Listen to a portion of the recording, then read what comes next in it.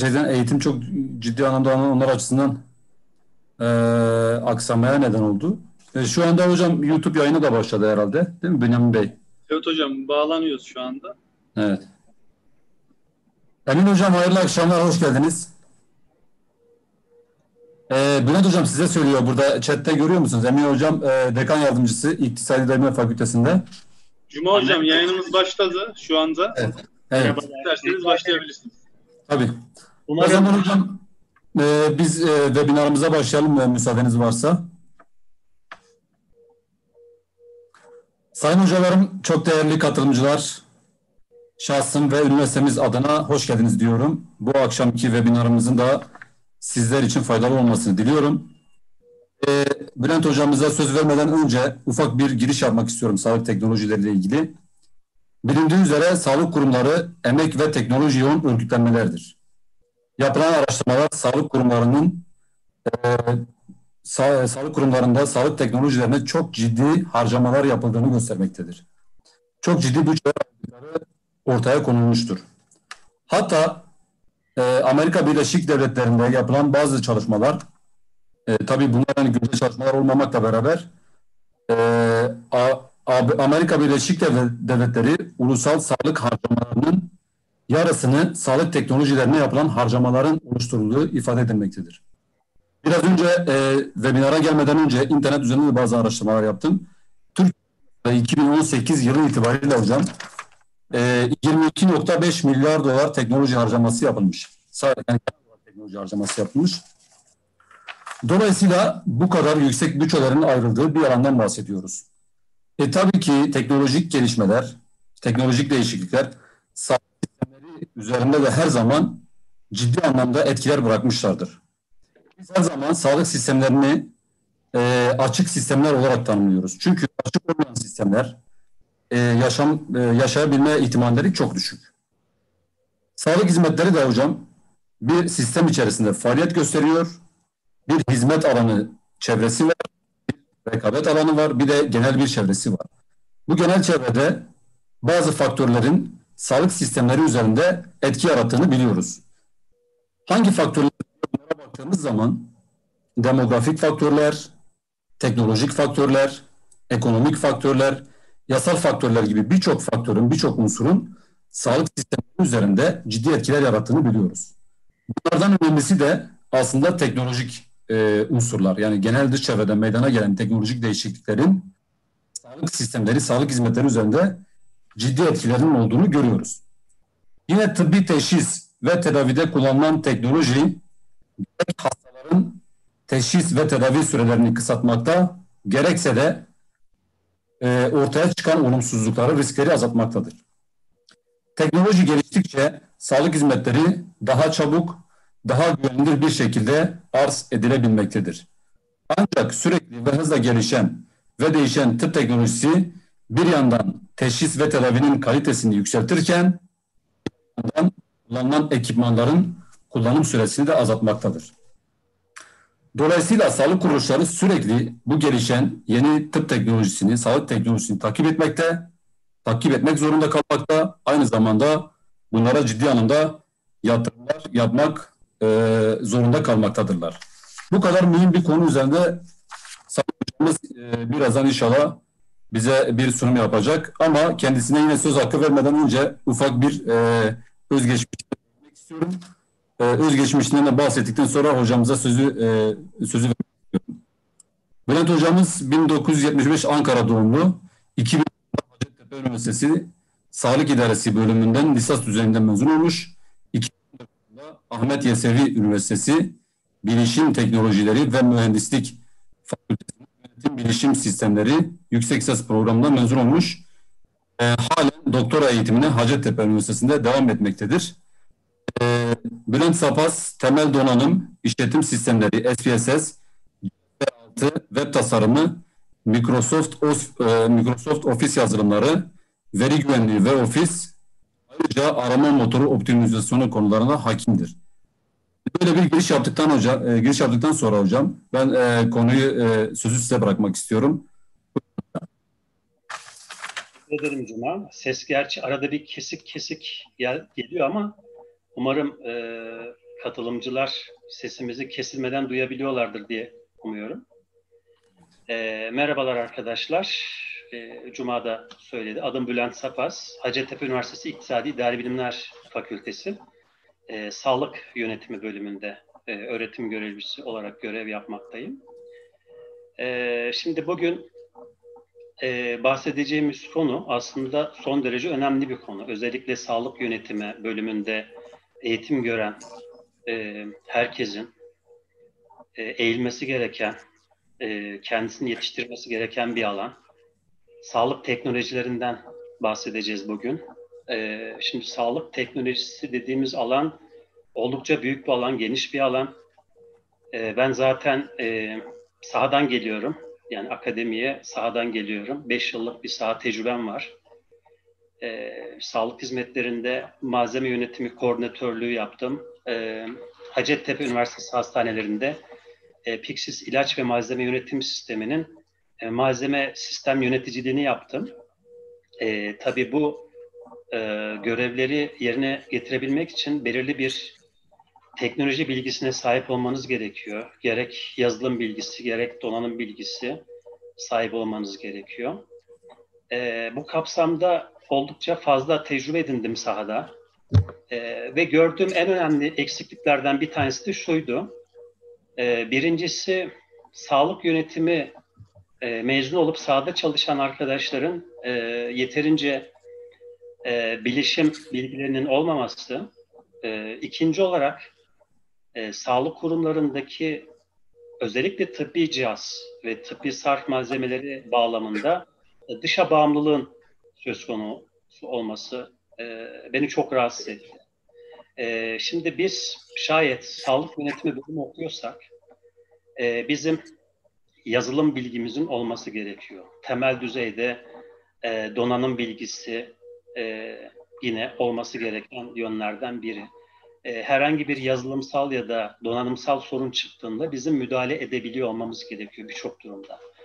E, tamam, hani şunu diyebilirsiniz, belki bu anlamda eğitimler yeterli değil diyebilirsiniz ama bu anlamda kendi kendinizi kişisel anlamda geliştirebilirsiniz arkadaşlar. Yani en temel düzeyde en azından bir veri tabanı e, analizi yapabilmeyi ya da veri tabanını kullanabilmeyi e, bilmeniz gerekiyor. Şayet bir hastane yönetecekseniz bu temel düzeyde gerekli bir bilgi.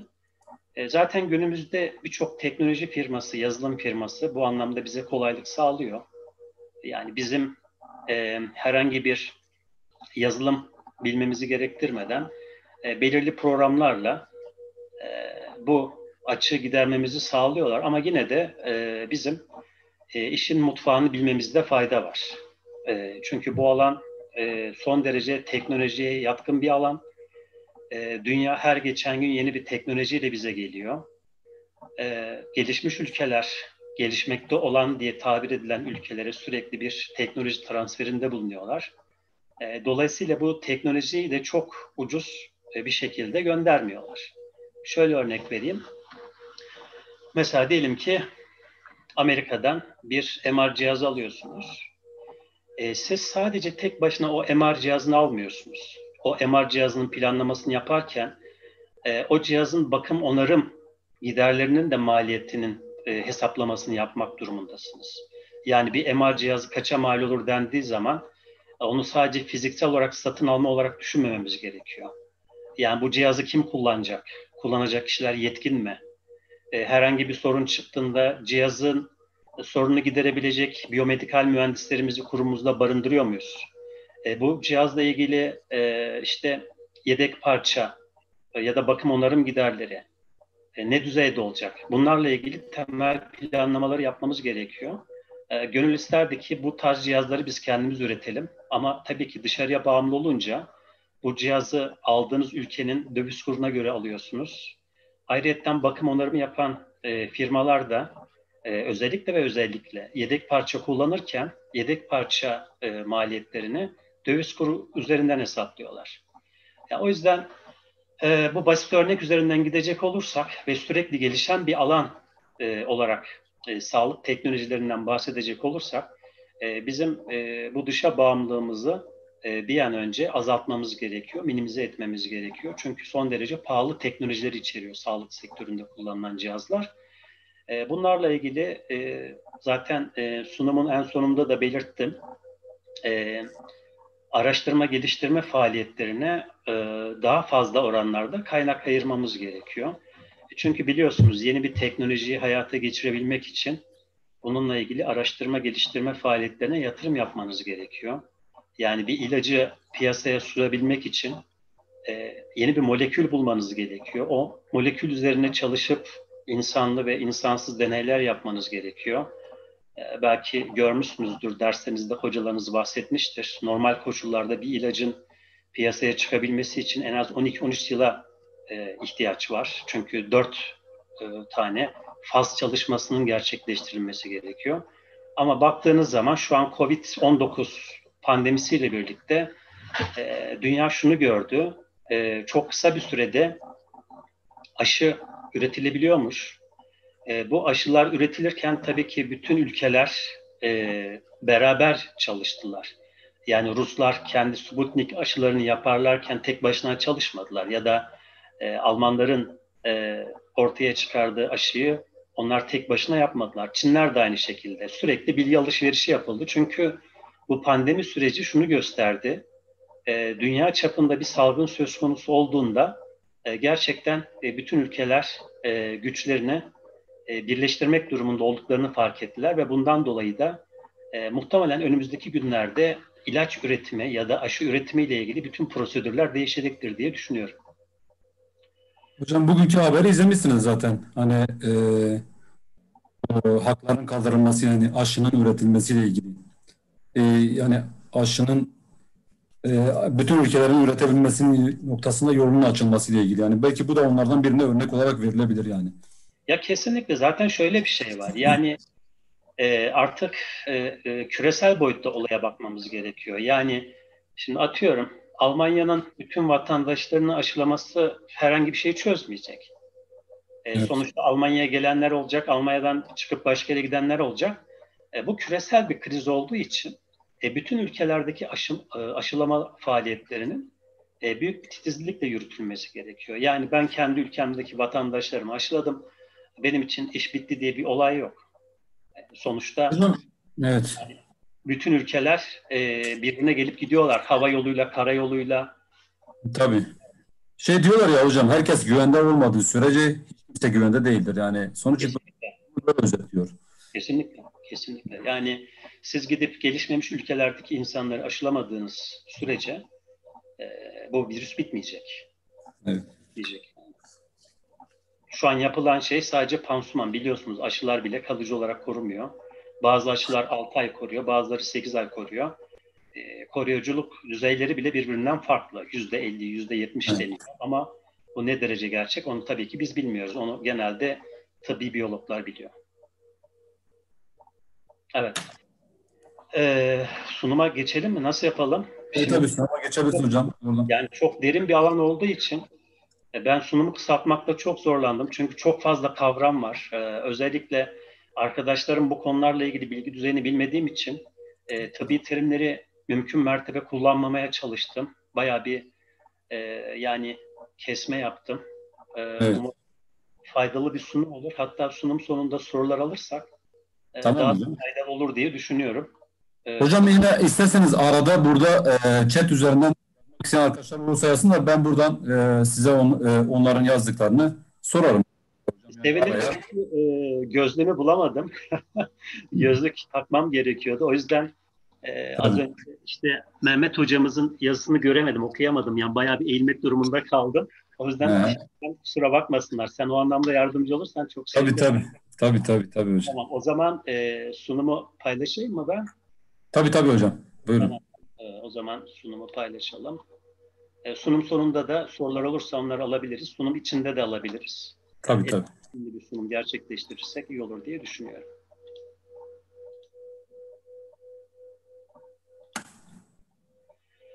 Evet, şimdi e, sağlıkta yeni teknolojiler e, konumuzla ilgili güncel bilgileri vermeye çalışacağım arkadaşlar. E, belki biliyorsunuzdur, e, ya bir bir zamanlar işte çok yaygın kavramlar vardı. İşte telesağlık kavramı çıktı. Sonrasında işte blockchain kavramı çıktı. İşte yapay zeka çıktı. Kanser e, immünoterapisi gibi kavramlar çıktı. E, her geçen gün bu kavramların bir yenisi çıkıyor.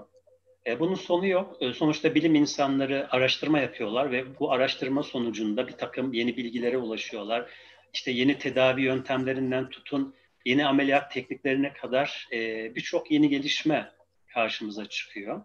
E, şimdi burada sağlıkta yeni teknoloji deyince e, isterseniz bir kavramsal bir çerçeve çizelim.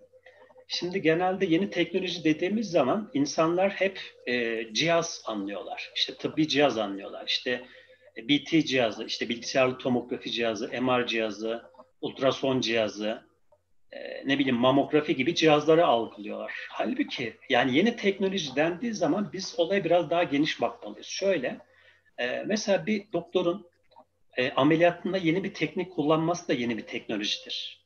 Yani olaya böyle bakmamız gerekiyor. Eskiden gerçi günümüzde de devam ediyor ama açık kalp ameliyatları çok yaygındı biliyorsunuz. E, sonradan teknolojinin gelişmesiyle birlikte e, laparoskopik girişimler gerçekleşti. Ne demek laparoskopik? İşte e, hasta e, bir kalp ameliyatı olacaksa e, doktor üç farklı noktadan kesi atıyor. O kesilerden e, bir tanesinden kamera giriyor. Mikro kamera diyebileceğimiz mikro boyutta bir kamera giriyor. Kalbi görüntülüyor.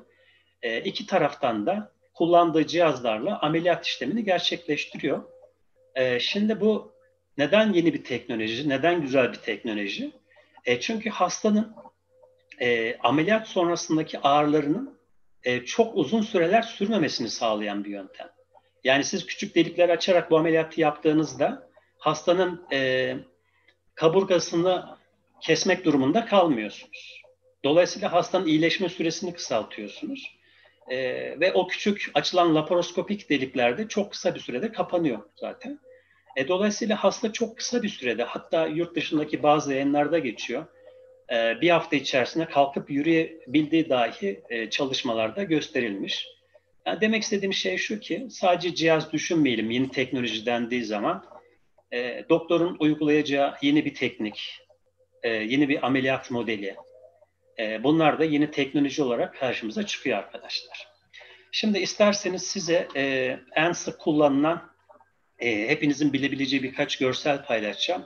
E, sonrasında e, işte 2020 ve 2021'de e, en çok e, revaçta olan, e, gündeme çıkmış kavramlardan bahsetmeye çalışacağım. E, şimdi şöyle bir bilgiyi de paylaşmak istiyorum. E, şu an e, biliyorsunuz hepinizin telefonlarında aplikasyonlar var, uygulamalar var. E, şimdi baktığımızda dünya üzerinde yaklaşık 23 bin üzerinde e, sağlık bakımı ile ilgili e, ya da sağlıklı yaşamakla ilgili e, aplikasyon var, geliştirilmiş olan. E, ve bunun dışında e, tıpla ilgili e, 19 bin üzerinde aplikasyon var. E, tabii ki bunların hepsine biz erişemiyoruz. Bazıları ücretli olduğu için çoğunlukla cep telefonlarınızdan ücretsiz olanlara erişiyorsunuz. E, ve bu aplikasyonlar da her geçen gün değişiyor ve gelişiyor. E, ücretli olanların içerikleri biraz daha zengin diyebilirim. Bunlar bizim hayatımızı kolaylaştıran aplikasyonlar. E, bunların kimisi işte nabzımızı ölçüyor, kimisi e, kan şekerimizi ölçüyor, e, kimisi tansiyonumuzu ölçüyor. Birçok özelliğe sahip. E, dolayısıyla bu aplikasyonların çıkmasıyla kişilerin hastaneye gitme oranlarında da belli bir oranda düşme gözlemlenmiş. Ama bir taraftan olumsuz tarafı da var. Özellikle bu Android telefon dediğimiz e, Android işletim sistemine sahip ya da iOS işletim sistemine sahip telefonları kullanamayan yaşlı bir kitle var. E, onlar tabii ki zorlanıyorlar. E, onlar da tabii ki bu aplikasyonlara hakim olamadıkları için yani herhangi bir aplikasyon uygulamayı telefonlarına indirip onu kullanmayı bilmedikleri için mecburen ne yapıyorlar? Aile hekimlerine başvuruyorlar ya da bir hastaneye gidip orada tedavi olma yöntemini tercih etmek durumunda kalıyorlar. Şimdi birkaç görsel paylaşacağım.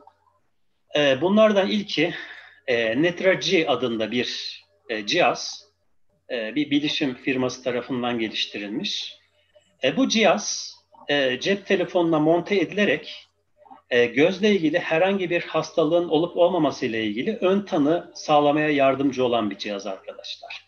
Yani kişi e, bu cihazı kullanırken aynı anda e, kendi göz doktoruna da e, bilgi gönderebiliyor. Göz doktoru buradaki verileri değerlendirerek hastayla ilgili bir ön tanı e, işlemini gerçekleştirebiliyor.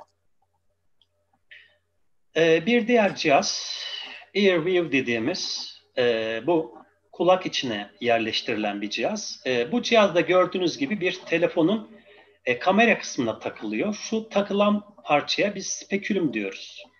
Bu kulak içine takıldığı için buna otoskop spekülümü diyoruz. Yani tıpçıların kullandığı tabir bu. Bu spekülümün plastik parçası şu e, telefonun arkasında gördüğünüz parça kulağın içine sokuluyor. E, burada da gördüğünüz gibi tele, e, telefonun ekranında da gördüğünüz gibi kulak içini gösteriyor. E, tabii ki bu uygulamada da e, hasta kişi doktora e, kendi kulağın içindeki bilgileri görüntülü olarak gösterebiliyor. Yani sanki hasta hastaneye gitmiş de oradaki acildeki doktor otoskop spekülümü kulağın içine sokmuş da bakıyormuş gibi bir izlenim veriyor. Bu da ön tanı sağlamak için e, kolaylık sağlayan teknolojilerden biri arkadaşlar. E, bir diğer teknoloji bu cep telefonlarında çok sık olarak kullanılıyor. E, heart monitoring olarak geçiyor. İşte kalp monitorizasyonu olarak geçiyor. E, buna da aslında çok basit bir şekilde oluşturulmuş bir EKG cihazı diyebiliriz. E, bu cihazın çalışma formatı da öncelikle bu e, yazılımı, aplikasyonu bir, e, telefonunuza yüklüyorsunuz. Devamında da elinizi telefonun flaşın üstüne tutuyorsunuz. O telefon flaşı yanıp yanıp sünerek e, sönme eylemini gerçekleştirerek sizin nabzınızı ölçmeye çalışıyor. Bu da farklı bir teknoloji olarak karşımıza geliyor. E, buradaki nabız bilgileriniz kaydedilip e, doktorunuza gönderebilirsiniz. E, doktor da oradaki e, değerlere bakarak sizde herhangi bir aritmi var mı, ritim bozukluğu var mı ya da kalp kapakçıklarında herhangi bir sorun var mı e, bunun değerlendirmesini yapabiliyor. Evet, e, bir diğer cihazımız gördüğünüz gibi bir e, akıllı telefona monte edilmiş e, bir şeker ölçüm cihazı var. Hemen şöyle göstereyim. E, şu alt kısımda e, şurada telefona monte edilmiş cihaza takılan bir stick var. E, çubuk diyoruz aslında biz bunlara. Bunlara glukostick deniyor. Yani kan şekeri ölçüm çubukları deniyor. Bu çubuğun üst e, şu uç kısmında arkadaşlar bir iğne vardır. Bu iğneyi baş parmağınıza batırıyorsunuz. E, dolayısıyla o baş parmağa batırdığınız kan e, bu cihaza aktarılıyor. E, bu cihazda sizin kan şekerinizi ölçüyor. Şu anki ölçümde kişinin kan şekeri ölçüm seviyesi 138 olarak çıkmış. Yani diyebiliriz ki normal üst sınırı 123 olduğu için bu kişi şu an şeker hastası. E, dolayısıyla sık sık kan şekerini ölçüp bununla ilgili e, tedavi devam ettirmesi gerekiyor diyebiliriz. Bu da son derece kullanışlı bir e, uygulama. E, Türkiye'ye geldim bilmiyorum ama e, bununla ilgili Türkiye'de bir uygulama henüz görmedim ben. Bu yurt dışındaki uygulama arkadaşlar. Muhtemelen şu cihaz pahalı olabilir. Döviz kurundan dolayı biraz pahalı olabilir ama e, biliyorsunuz yani e, diyabet hastalarının muhakkak kullanması gereken cihazlardan biri olarak gözüküyor diyebiliriz. Buraya kadar anlattığım kısımla ilgili sorusu olan var mı? Hocam şu an soru soran yok. Yok. Peki o zaman devam edelim. Tamam evet hocam. bu da son derece özellikli cihazlardan biri. E, 3D bioprinting olarak geçiyor. E, üç Evet. boyutlu e, herhangi bir organın kopyasını çıkarabilme özelliğine sahip. E, bu da yurt dışında şu an deneniyor. E, hatta bunun ileri safhalarda e, organ naklini tamamen bitireceği yönünde söylemler var. E, bununla ilgili çalışmalar devam ediyor. E, gördüğünüz gibi şu an üç boyutlu e, biyo yazıcıdan e, bir kalp e, ortaya çıkarılmış.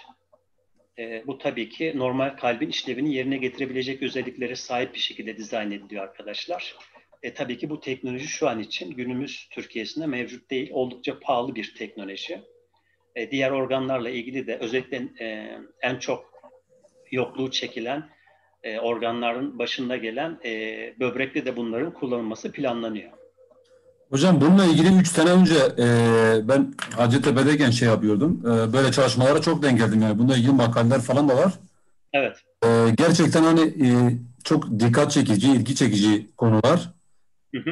E, bununla ilgili çok ciddi anlamda çalışmalar var. Evet. İlgili, e, yani arkadaşlarım mesela onlara bakmasını öner, öneriyorum ben. Yani sizin vasıtanıza burada. Evet güzel çalışmalar var ve hatta e, doku çoğu, çoğaltma eylemleri var. Yani birçok bilim adamı e, doku çoğaltma eylemi gerçekleştiriyor laboratuvar ortamında. Mesela e, böbrek oluşturabilmek için e, böbrek dokusunu geliştirme çalışmaları yapıyorlar. Evet. E, şey gibi düşünün. Yani serada yetiştirilen bir domates gibi düşünün. E, Evet. Bu şekilde e, o dokuyu zenginleştirerek çoğaltmaya çalışıyorlar dokuyu. E, Evet. yani gerçekten teknoloji almış başına gidiyor diyebiliriz. E, bunlar günümüze kadar gerçekleştirilen teknolojilerin bir kısmı arkadaşlar. Yani e, 2020 yılından önce gerçekleştirilen, ha- hala da gerçekleştirmeye devam eden teknolojilerden bir kısmı. Şimdi gelelim en son tıbbi teknolojilere. En son ne tür tıbbi teknolojiler var? E, şimdi ben bunları sık sık takip ediyorum. Hatta şöyle göstereyim. E, Popular Science dergisinin eğer bu dergiyi takip ederseniz şöyle göstereyim. Bu dergi Türkiye'de hem Türkçe hem İngilizce olarak yayınlanıyor. E, burada e, bu dergi ve benzeri dergilerde en son tıbbi teknolojileri e, test ediyorlar, değerlendiriyorlar ve bunlarla ilgili gelişmeleri bizimle paylaşıyorlar arkadaşlar. Eğer merak edenler varsa e, zaten çok pahalı bir dergi de değil. E, bütün arkadaşlar edinebilirler. E, şimdi ilk konumuz en son teknolojilerde nanotıp. E, nanoteknolojiyi hepimiz biliyoruzdur diye tahmin ediyorum. E, şimdi nanoteknoloji dediğimiz şey arkadaşlar e, çok küçük düzeylerde yani e, laboratuvarlardaki e, mikroskoplar boyutunda e, çalışma gerektiren e, ölçü birimleriyle yapılan teknolojiler, nanoteknoloji olarak hayatımıza girdi. Yani onlarca yıl önce hayatımıza girdi nanoteknoloji. E, bununla ilgili birçok sektör, sadece, sadece sağlık sektörü değil, birçok sektör e, çalışma yaptı nanoteknolojiyle ilgili. İşte savunma e, sanayinde olsun, tekstil sektöründe olsun, inşaat sektöründe olsun nanoteknolojiyi birçok sektör kullandı. E, şimdi nanoteknolojide şöyle bir örnek vereyim. Mesela bir metre, bir metreyi e, nanoteknolojiye çevirdiğinizde bunun karşılığı bir milyar. Yani bir milyar birim yapıyor. Yani bir metreyi bir, bir milyar birim küçülttüğünüzde nanoteknolojiden bahsedebilirsiniz. Yani dolayısıyla e, bu teknolojiyi kullanmaya başladığınızda üreteceğiniz ürünleri kesinlikle normal bir gözle göremezsiniz. E, laboratuvar, laboratuvar ortamındaki mikroskop altında görebilirsiniz. E, şimdi nanotıp dediğimiz kavrama bakacak olursak nanoteknolojinin tıpta uygulanmasını algılayacağız arkadaşlar. Şimdi nanotıp dediğimiz şey mümkün olduğunca Türkçeleştirmeye çalıştım ben buradaki e, kavramları. E, atomik, moleküler veya supramoleküler yani üst düzeydeki moleküler ölçekte çalışan teknolojiye biz nanoteknolojinin tıbbi uygulaması diyoruz. E, şimdi nanotıp tıbbi cihazlar aracılığıyla işte görüntüleme, algılama, teşhis e, ve dağıtımda e, dağıtımda kullanılan uygulamalara sahip. E, şimdi bunlarla ilgili bir görsel paylaşacağım size. E, umarım görseli görebiliyorsunuzdur. Şöyle bizi de kenara alayım ki hani görseli kapatmasın. Bakın burada ölçeklendirme yapılmış. Yani bu bir e, e, nano ölçeklendirme skalası olarak geçiyor arkadaşlar. Baktığınızda en başta 4 yaşında bir çocuğu düşünün. Yani bunu bir birim olarak düşündüğünüz zaman gittikçe küçülüyor. Bakın sinek boyutu, e, insan e, saçı boyutu, kırmızı kan hücreleri boyutu şeklinde bu gidiyor. İşte hepatit C virüsünün boyutu. Bakın e, son derece küçük boyutlara geliyor. İşte su molekülü, en son su molekülü gösterilmiş. Şimdi bizim sağlık alanında kullandığımız boyutlar daha çok buradaki işte kan hücrelerinin e, boyutundan daha küçük boyutlardaki çalışmaları kapsıyor. Yani şöyle söyleyeyim, e, siz mesela e, organa giden organa özel bir ilaç yaptığınızda bu ilaçlar her zaman için nano boyutlarda değerlendiriliyor. Ee, ve bunlara biz akıllı ilaç diyoruz. İlerleyen safhalarda bunlardan bahsedeceğim zaten. Evet, akıllı ilaç. Ee, e, smart drug olarak geçiyor. E şimdi akıllı ilaç dediğimiz şeyin normal ilaçlardan farkı ne? Şimdi normal ilacı içtiğimiz zaman biliyorsunuz bu ilaç mideye gidiyor. İşte mide asitine maruz kalarak eriyor. Oradan da damarlar ve kan yoluyla e, bütün organlara gidiyor. Vücudun bütün kısımlarına gidiyor. E, akıllı ilaç dediğiniz şey e, son teknolojik bir ürün. Ne demek? E, diyelim ki böbrek rahatsızlığınız var. Böbreğinizde kist ya da taş var. Akıllı ilaç hiçbir bölgeye gitmiyor. Sadece tanımlandığı bölgeye gidiyor ve orada faaliyet gösteriyor. Yani biz sadece tanımlanan yere gidip orada faaliyet gösteren ilaçlara bu tabiri kullanıyoruz, akıllı ilaç kavramını. Ya da kalple ilgili bir ilaç kullanıyorsunuz. Bu ilaç sadece kalbe gidiyor ve kalpte aktif hale geliyor. Kalbin belirlenen bölgesine aktif hale geliyor. Ee, yani gördüğünüz gibi teknoloji son derece gelişmiş düzeyde. Ee, tabii ki bununla ilgili yapılan çalışmalardan dolayı bu ilaçların da bir maliyeti var ee, ve bu ilaçlar son derece pahalı. Ülkemizde kullanılıyor mu? Kullanılıyor. Şöyle kullanılıyor. Ee, bazı kişiler özel firmalar aracılığıyla bu ilaçları getirtiyorlar ve hastalarına kullanıyorlar. Çok maliyetli olduğu için tabii ki Sağlık Bakanlığı bu akıllı ilaçları e, geri ödeme kapsamına almıyor. Yani bu e, bütçe uygulama talimatı ya da sağlık uygulama tebliğ dediğimiz alanlarda akıllı ilaçlarla ilgili e, açıklayıcı bilgiler olabilir ama e, bunlar geri ödeme kapsamına dahil edilmiyor maalesef. Yoğun teknolojiyle üretildikleri için. Evet, e, gördüğünüz gibi burada bir e, GIF formatı koydum. E, akıllı ilaç sadece belirlenen organa gidiyor. Üzerinde bir çip var. E, yani buna şey diyebiliriz, mikroçip diyebiliriz. Bu mikroçip e, nasıl programlandıysa ona göre hareket ediyor. Yani bir yazılımı var. E, bu yazılım e, siz orada hangi kodları girdiyseniz tamamen ona göre hareket ediyor. Yani hangi bölgeyi istiyorsa e, ona göre kullanılıyor. E, bunun birçok çeşidi var. E, burada sadece şematize ettim, görünsün diye bunu göstermek istedim arkadaşlar. Evet, burada da bir gösterim var. Akıllı ilaç gidiyor. E, gelmesi gereken yere geldikten sonra açılıyor ve aktif hale geliyor. Bununla ilgili çok sağlıklı görseller yok. Kendisini orada bırakıyor. Ondan sonra gitmesi gereken ikinci bir yer varsa oraya gidip tekrar e, kendisinin içerisine tanımlanmış olan ikinci ilacı da bırakıyor. Yani tek bir yere ilaç bırakmıyor. Evet, akıllı ilaçlarımız da böyle. Hocam evet. bir tane sorumuz var. Ee, Ömer ikinci soruyor. Evet. Hastaların bu yeni teknolojilere uyumu ya da kabullenme süreciyle ilgili ne söyleyebilirsiniz? Kim yapay bir kalbi vücuduna ister diye sormuş. Güzel bir soru. Şöyle, kim yapay bir kalbi kalbinde ister? Ee, şimdi benim kalbimde mitral bir yetmezlik varsa, eğer çift taraflı aritmi varsa, e, yani kalbim çok uzun vadede beni götüremeyecekse ve ben de yaşamak isteyen bir bireysem kesinlikle bunu isterim. E, çünkü bu teknolojinin kullanılma amacı kişileri hayatta tutmak. Evet. Yaşam bir... süresini uzatmak tabii hocam yani. Tabii tabii. Buradaki temel a, felsefe bu. Şöyle örnek vereyim. Ee, mesela e, insanların kalp kapaklarında sorun çıkabiliyor. Çok sık çıkabiliyor. Genellikle beslenme kaynaklı kalp kapağı bozulabiliyor. Ve belli bir süre sonra kapanmamaya başlıyor. Ee, şimdi Amerika'da çok tanınmış bir firma var. Medtronic firması. Dünya devi bir firma. Bu firma e, kendi çiftliklerinde insan kapağıyla uyumlu canlılar yetiştiriyor. Ne tür canlılar? Sığır ve domuz. Yani insan kalp kapağına en yakın canlı türü sığır ve domuz.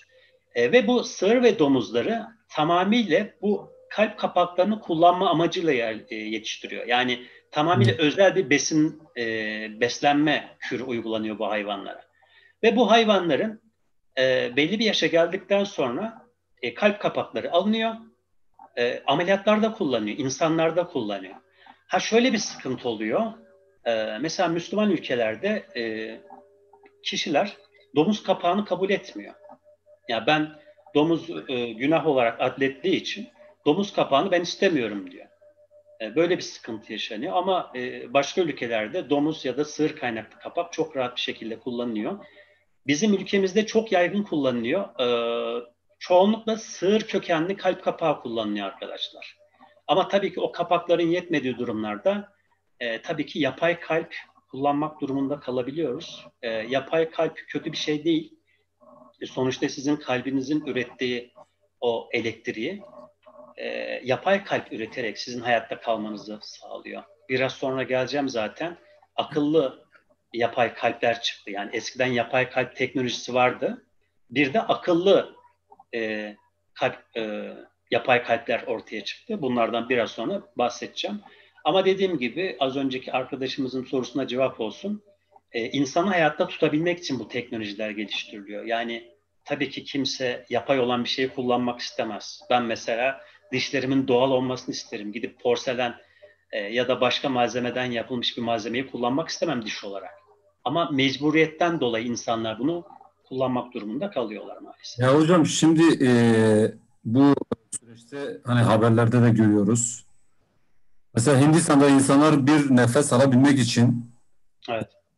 Diyor. Yani bugün bu özellikle koronavirüs sürecinde bir nefes için kara borsaya düştüğünü söyleniyor. Yani bu evet. türlerinin falan. İnsanların tamamen hani oraya belki biraz felsefi yaşama arzusu, hayatta kalabilme arzusu e, onlara her şeyi yaptırabilir yani son anlarına yönelik her şeyi yaptırabilir aslında. E, yani çoğu belki sorsanız insanlar bunu bunları söyler yani. Evet, mesela şöyle örnek vereyim. Pandeminin ilk dönemlerinde e, İtalya e, pandemiye çok ağır girdi. Hmm. Yani o kadar ağır girdi ki günlük vaka sayısı korkunç düzeylerdeydi ve çok basit bir teknolojiyle üretilen ventilatöre ulaşamadı insanlar. Yani ventilatöre ulaşamadıkları için maalesef acil koridorlarında ya da hastanenin farklı koridorlarında nefes alamayarak hayatlarını kaybetmek durumunda kaldılar maalesef. Tabii. Buyurun hocam devam edelim evet. isterseniz. Şimdi bir sonraki e, güncel konuya bakalım isterseniz. Akıllı telefona bağlı kalp pili cihazları var arkadaşlar. Bunlardan bahsedelim. Şimdi akıllı telefon adından da anlaşılacağı gibi e, birçok işlemi yapabilme özelliğine sahip telefonlar için kullanılan bir tabirdir. Yani sadece e, arama yapabilme ya da mesaj gönderme eylemi dışındaki birçok komplikasyonu kendi bünyesinde yani komplike özellikleri barındıran telefonlar için kullanılan bir tabirdir. E şimdi akıllı telefona bağlı kalp pili cihazları dediğimiz zaman şöyle düşünün arkadaşlar. Mesela bu bir kalp. Yani gördüğünüz gibi e, işte sağ ventrikül, sol ventrikül, işte sağ atrium, sol atrium, pulmoner arter ve aorta dediğimiz bir yapısı var. Yani kalbe işte bir taraftan temiz kan giriyor, e, bir taraftan da kirli kan çıkıyor. E, şimdi peki akıllı telefonla e, az önce bahsettiğim kalp pili cihazının alakası ne diyebilirsiniz? Şöyle söyleyeyim arkadaşlar. E, şimdi akıllı telefonlar kalp pillerini kontrol etmeyi e, sağlıyor. Nasıl sağlıyor? Mesela siz oradan kalp pilinizin durumunu görüyorsunuz. İyi çalışıyor mu? Performanslı çalışıyor mu? Ya da kalpte herhangi bir aritmi varsa e, kalp pili akıllı telefonunuza mesaj gönderiyor. Diyor ki şu an aritmi var. Ritim bozukluğu başladı diyor. Ya da kalp kapakçığında bir sorun oluştu diyor. Bununla ilgili ne yapmam istiyorsun diyor. Kalp pili akıllı telefondan talimat bekliyor. İşte bundan dolayı arkadaşlar e, akıllı telefonlar e, kalp pilleriyle ortak çalışmaya başladı. Evet. E, şimdi şu sağ tarafta gördüğünüz parçayı e, kişi vücuduna yerleştiriyor ya da elinde tutarak e, burada gördüğünüz gibi kalp ritminin e, seviyesini gözlemleyebiliyor. E, şimdi bununla ilgili bir video gösteriminde bulunacağım arkadaşlar. Onu bir izleyelim. E, videonun sesini açmadım. E, İngilizce olduğu için kafa karıştırsın istemiyorum. Çünkü e, herkes İngilizce bilmeyebilir. Sadece gözlemleyin ne olduğunu. E, akıllı telefonlarla e, yapay kalp cihazları arasında nasıl bir bağlantı var? E, bunu bir görün.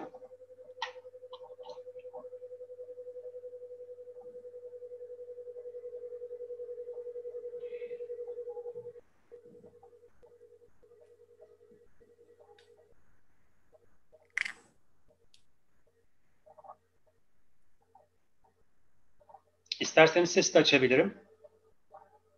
Ne dersin Cuma açayım mı? Böyle mi iyi? Böyle daha iyi hocam ya. Böyle mi? Tamam. Evet şu gördüğünüz cihaz kalp pili arkadaşlar. Bakın. Evet doktor da buradan ventriküllerin atım hızlarına bakıyor. Birinci ventrikülden altıncı ventriküle kadar kalp atım hızını inceliyor. Sonra cep telefonundan inceliyorlar. Herhangi bir anomali var mı? Yani normal olmayan bir durum var mı? Bu inceleniyor. Kişi bunu inceleyip doktora rapor gönderiyor. Doktor da değerlendiriyor bunu. Bunu tabletten de yapabilirsiniz. Akıllı telefonlardan da yapabilirsiniz arkadaşlar. Ee, buradan e, kalp hızının çalışma şekli, başarılı çalışıp çalışmaması ya da batarya durumu ile ilgili bilgileri alabiliyorsunuz. Son derece gelişmiş bir teknoloji. Ülkemizde çok yaygın kullanılmıyor. E, çünkü e, yani pahalı bir teknoloji arkadaşlar. Geri ödeme kapsamında olmadığı için e, maalesef e, insanlar e, bunu edinemiyorlar. Evet, bu şekilde bir gösterim vardı bununla ilgili. Evet. Evet, burada ne görüyoruz arkadaşlar sizce? Bir hasta var ve bir doktor var. Gördüğünüz gibi e, boynunda steteskop olan e, küçük karedeki kişi doktor, diğer kişi de hasta. Evet. Bir teratip uygulaması. Teletip uygulaması. Yani telemedicine dediğimiz uygulama Türkçesi teletip olarak geçiyor. E, eskiden biliyorsunuz telesağlık diye bir kavram vardı. E, o biraz daha gelişti ve teletip adını aldı. E, bilmiyorum onunla ilgili bilgiye sahip misiniz? E, telesağlığın artık kişiye uyarlanmış versiyonu diyebiliriz. E, teletıpla ilgili arkadaşlar. Şimdi e, gelişmiş teletıplarda e, özellikle COVID-19 pandemisi sırasında büyük bir sıçrama yaşandı. Yani özellikle Ocak 2020'de e, sağlık kuruluşlarının tahmini e, işte %24'ünün e, mevcut bir e, teletip programı vardı. E, bir analitik firması var Forrester adında. Bu Amerikalı bir firma. E, bu firmaya göre e, Amerika'da e, yıl sonuna kadar 1 milyardan fazla e, sanal bakım e, eyleminin gerçekleştirileceği tahmin ediliyor. Yani insanların akıllı telefonlarını ya da tabletlerini ya da bilgisayarlarını kullanarak e, bu eylemi gerçekleştirileceği varsayılıyor. E, şimdi gelişmiş teletipin bir özelliği var. O da şu. Kişi ikamet ettiği yer kaynaklı olarak hastaneye gidemeyebilir. Yani hastaneye uzak bir yerde oturabilir. E, yani konum olarak. Ya da e, hastaneye gidebilecek e, motor özelliklerini kaybetmiştir. Yani yaşlıdır. Yaşlı olduğu için işte araç kullanabilecek durumda değildir. Ya da ona yardımcı olabilecek yanında genç biri yoktur. Böyle durumlarda olan kişiler daha çok bunu tercih ediyorlar e, pratik oluyor. Kişi açıyor e, internet bağlantısı olan her yerden doktoruyla görüntülü ve sözel iletişime geçiyor. E, bu uygulamada ne tür rahatsızlık olduğunu dile getiriyor. E, doktor da buradan e, ne yapıyor? Hasta hikayesini kaydediyor. Yani hastanın ne tür şikayetleri var? Bu şikayetler sonucunda ne tür rahatsızlığı olabilir? Bununla ilgili e, tahmin yürütüyor. Ya da e, işte slaytların en başında gösterdiğim gibi kişinin e, akıllı uygulamalarını barındıran bir takım e, elinde e, nesneler varsa işte telefonla taktığı glukostick gibi ya da kan şekeri ölçümü dışındaki diğer cihazlar gibi akıllı e, saatler gibi uygulamaları varsa oradaki bilgileri e, doktoruyla paylaşabiliyor. Şimdi şöyle e, 2021 için birçok sağlık kuruluşu e, tele sağlık hizmetlerini mevcut fiziksel olanlarla en iyi şekilde nasıl entegre edeceğine odaklanmış durumda arkadaşlar. Yani mevcut hizmetlerin içerisine hem tele tıbbı hem tele sağlığı birçok e, hastane e, entegre etmeye çalışıyor. Şimdi sanal ziyaretler birinci basamak ve acil bakıma erişimi artırmanın yanı sıra klinikler, uzun süreli bakım tesisleri, diyaliz merkezleri ve virüs sağlığı hizmetleri ile işbirliğini geliştirmenin bir yolu olarak kullanılmaya devam edecektir diyor yeni kaynaklar. İşte bununla birlikte e, tüm bunlar düzenleyici engellerin daha kalıcı bir şekilde kaldırılmasına bağlı diye yorum yapılıyor. E, ne demek bu? E, tabii ki buradaki tele sağlık ve tele tıp uygulamalarının daha verimli kullanılabilmesi için bir takım yasal düzenlemelerin de buna uyarlanmış hale getirilmesi gerekiyor şeklinde yorum yapılıyor arkadaşlar. Hocam burada e, yine e, katılımcı arkadaşlardan iki soru var. Bir tanesini söyleyeyim hemen. Ömer Tabii. Ekinci diyor ki doktor en-nabız uygulaması mevcut. Karantinada olan hastalar MHRS randevusu alarak hekimle görüntülü görüşebiliyorlar diyor.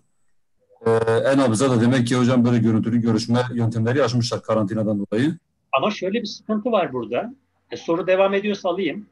Soru bu kadar hocam. Diğerini söyleyeyim. Diğeri de müzikle ilgili. Yani şöyle. Hocam iDozer diye bir müzikle beyni uyaran bir müzik türü var.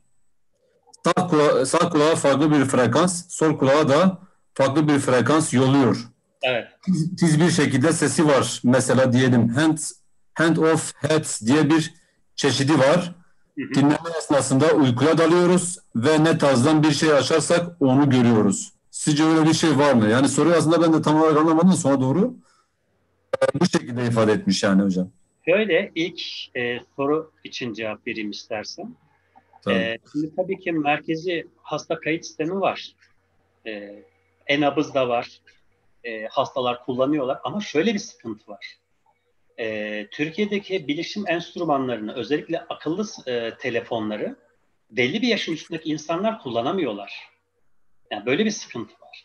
Yani şimdi iyi güzel bu uygulama var ama e, şimdi atıyorum 50 yaşın üstündeki bir birey ya da 60 yaşın üstündeki bir birey akıllı telefonundan e-sağlığa girmeyi bilmiyorsa, o e-sağlıktaki e, işte görüntülü görüşme platformunu kullanmayı bilmiyorsa e, nasıl olacak bu iş? Esas sorun burada. Yani bizim açımızdan bakıyorum buna. Dünyada tabii ki farklı uygulamalar var farklı seviyede ama bizdeki durum bu. Yani isterseniz bununla ilgili e, TÜİK'in istatistiki verilerine bakabilirsiniz. Yani bilişim teknolojilerini kullanma düzeyi e, her yaş grubunda farklı. Yani siz şimdi 20 yaşındaki bir üniversite öğrencisine bunu söyleseniz çok hızlı bir şekilde yapabilir.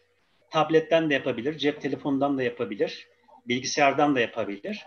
Ama belli bir yaşın üstündeki insanlar, özellikle 60-70 yaşın üstündeki insanlar, e, bunlarda birçok e, sorun var, komplikasyon var. Şöyle komplikasyonlar var. Mesela kişinin hareketleri yavaşlıyor, algısı yavaşlıyor. Birinci sıkıntı burada başlıyor. İkinci sıkıntı, e, bu insanlar zaten Android ya da iOS işletim sistemi barındıran telefonları kullanamıyorlar. E, dolayısıyla bu e, o zaman ne yapıyoruz?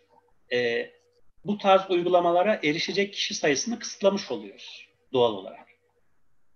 Bilmem soruya cevap verebildim mi? Evet hocam. Artı bir de şu var, şu da var. Bu da önemli bir veri. E, herkeste akıllı telefon yok. Evet. Herkeste akıllı telefon yok. Artı bilgisayar yok, tablet yok. Çünkü bunlar pahalı teknolojiler. Yani ben şuradan biliyorum. Ee, üniversite çapında da birçok derse giriyorum. Ee, öğrenciler bana bir şekilde mail atıyorlar. İşte annesinin telefonundan, babasının telefonundan. Hocam derse giremiyorum çünkü telefonum yok, bilgisayarım yok diyor. Yani bunu söyleyen kişi 20-21 yaşındaki bir öğrenci. Ee, dolayısıyla bunu da e, değerlendirmek gerekiyor tabii ki. Diğer Evet. sorunu tam anlayamadım. O diğer soruyu bir tekrar alabilirsem anlarsam vermek isterim. Ee, aslında o katılımcı arkadaş onu tekrar yazsın hocam düzgün bir şekilde. Ben öyle okuyayım size. Çünkü e, Yani- pek anlaşılmıyor. Evet yazarsa daha sağlıklı. Yavuz Kaçan, lütfen e, o sorunu tekrar yazarsan seviniriz. Hocam son olarak e, bir şey bir soru daha var. Bunu da isterseniz sorunun son- sonuna bırakalım. Bu veri güvenliği ile ilgili. Olur. Yani bu hasta mahremiyetini ko- korumaya yönelik ve şu şekilde şu şekilde yazılmış. Hı hı. E, Bu teknolojiler inanılmaz fakat tüm bu cihazlardan kişiyle ilgili anlık olarak veri üretilmekte ve bu verileri bu verilerin e, manipülasyona açık e, olduğunu görüyoruz diyor. Hocam, bu uygulamaların- hukuki boyutlarına da değinebilir mi? E, bunu sona bırakalım hocam isterseniz.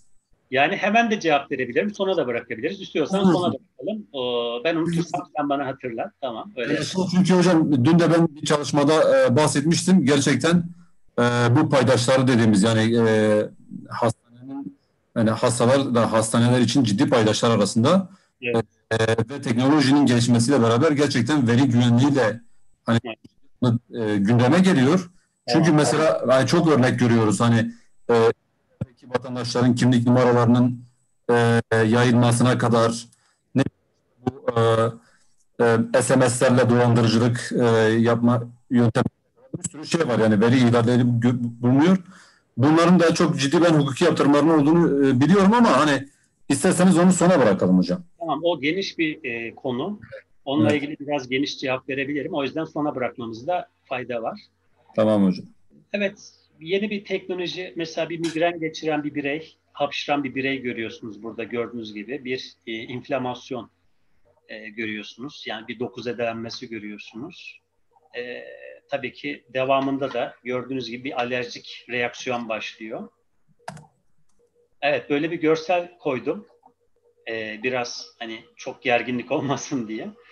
Şimdi bu kişi ne yapıyor? Bu kişi e, sahip olduğu migren ağrısını geçirebilmek için, dindirebilmek için e, böyle bir e, yöntem gerçekleştiriyor arkadaşlar. Evet, şimdi burada e, çok pardon, e, migren e, profilaksisi için immünolojikler diye bir kavram var. E, şimdi bu tıpta çok yeni uygulanan bir kavram. Yani koysam mı koymasam mı bilemedim. Hani herkes yabancı olabilir diye e, biraz tereddüt ettim açıkçası. Şimdi migreni önlemek için bir süredir tansiyon ilaçları kullanılıyor. Antidepresanlar, nöbet önleyici ilaçlar ve botoks enjeksiyonları gibi birçok ilaç kullanılıyor. Ama e, bunlar çok e, kalıcı fayda sağlamıyor arkadaşlar. E, şimdi bununla ilgili bir ilaç geliştirilmiş. Geliştirilen ilaç migren sırasında ortaya çıkan e, kalsitonun genine bağlı e, peptit adı verdiğimiz e, molekülün aktivitesini bloke ediyor. E, şimdi bu e, peptit adı verilen molekül e, bloke edildiğinde kişi, Türkçeleştireyim biraz, e, migren ağrısından kurtuluyor. Yani bu ilacın sağladığı şey migrene yol açan e, kalsitonun genine bağlı ortaya çıkan e, peptit adı verilen molekülün pasif hale getirilmesini sağlıyor. Ama e, esas soru şu olarak ortaya çıkıyor. Bu molekül neden aktive oluyor? Ee, bizim esas bunu bulmamız lazım. Yani ağrı kesici mantığı gibi bu da. Yani başımız ağrıdığında ağrı kesiciyi alıyoruz. Aspirin e, ya da e, benzer bileşiklere sahip ağrı kesicileri alıyoruz.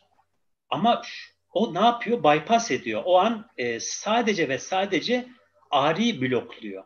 Yani ağrının neden olduğu durumu ortadan kaldırmıyor.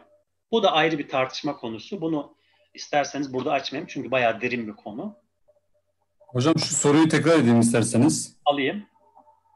High dozer tarzında bir müzik çeşidi var. Hı hı. Her iki kulağa da farklı frekans yollayıp beyni uyuşturuyor. Hı. Ve sadece e, tiz bir sesi var. Birçok farklı çeşidi var. Alkol, LSD gibi. Hangisini açıp dinlerseniz beyniniz ona göre şekil alıyor. Ee, mesela alkolü açıp dinlediğinizde belli bir süre sonra sarhoşluk hissi geliyor kullanmadığınız halde diyor yani kullanmadığınız halde böyle bir şey mümkün mü diyor. Şimdi şöyle e, dinlediğiniz müzikler e, hepsinin bir frekans değeri var.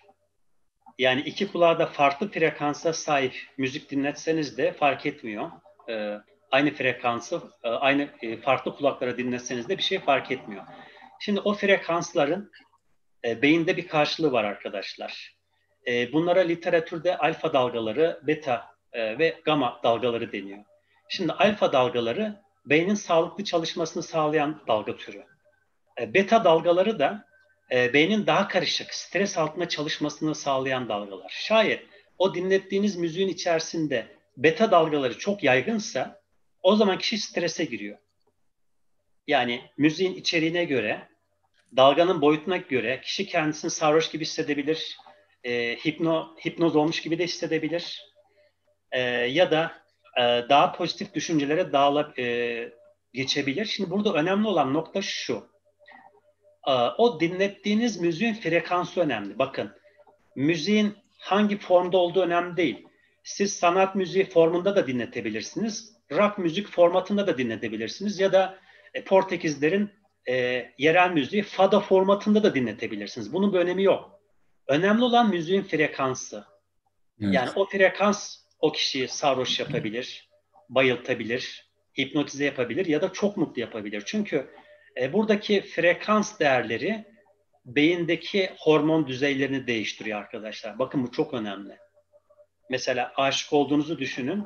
Aynı anda 4-5 tane hormon salgılandığı için aşık oluyorsunuz. Yani karşınızda inek bile görseniz ineğe bile aşık olabilirsiniz.